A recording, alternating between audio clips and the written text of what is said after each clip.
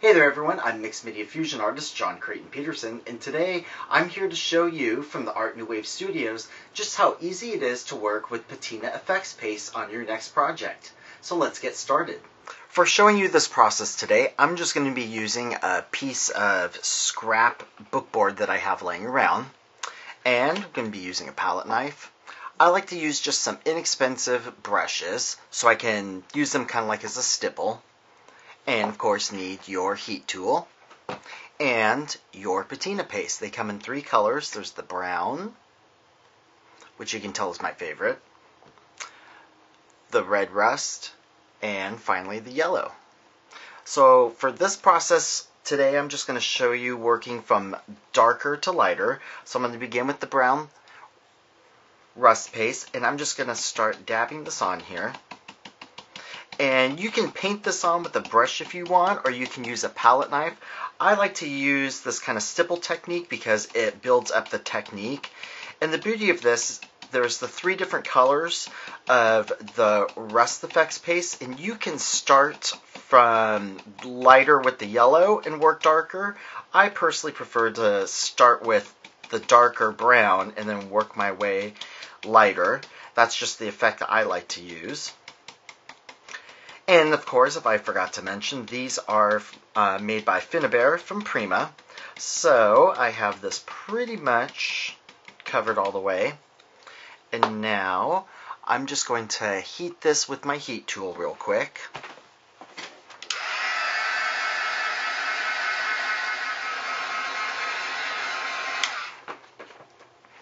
There is that all heat set. And the beauty of working with this is that you can also use this product on other surfaces like metal and non-porous surfaces, and it'll get the same effect. Now I'm going to show you real quick how to mix a custom color. So I'm just going to scoop out a little bit of the brown, and I'm just going to put this right here on my craft mat. So there's that. And I'm just going to wipe my palette knife real quick. Don't want to be double dipping. There's that. And now I'm just going to scoop out some of the red rust. And what this is going to do is this is going to make a color that's kind of in between the red and the brown. So it's going to be kind of a lighter brown color. So again, I'm just mixing this with my palette knife. And you can mix any of the different color combinations you want to. So you can mix the yellow with the brown, or you can mix the yellow with the red, whatever you like. So now you can see I have a little bit of a lighter color here.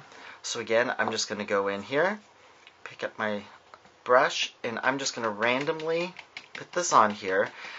Again, think of this as kind of like doing a highlight, so I don't want to cover up all the work I've already done.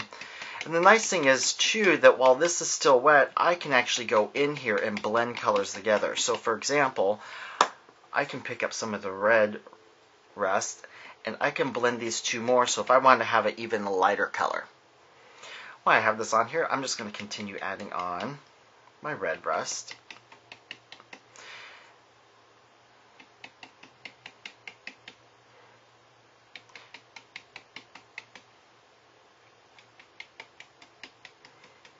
And there's no right or wrong to this process. And I always like to tell people when they're doing this, don't think about it.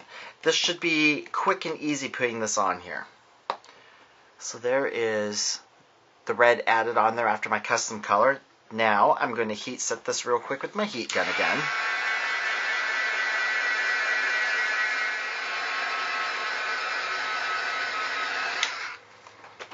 Now you can see all that beautiful texture and luscious color put on here. For adding my yellow on, I'm just going to pick some up with my finger and I'm just going to lightly rub against the top of the highlights. I'm not a huge yellow fan to begin with, so that's the reason why I'm just highlighting just the top. And again, I'm just hitting just the little peaks of the texture in here. There we go. So you can see there's the yellow added on there.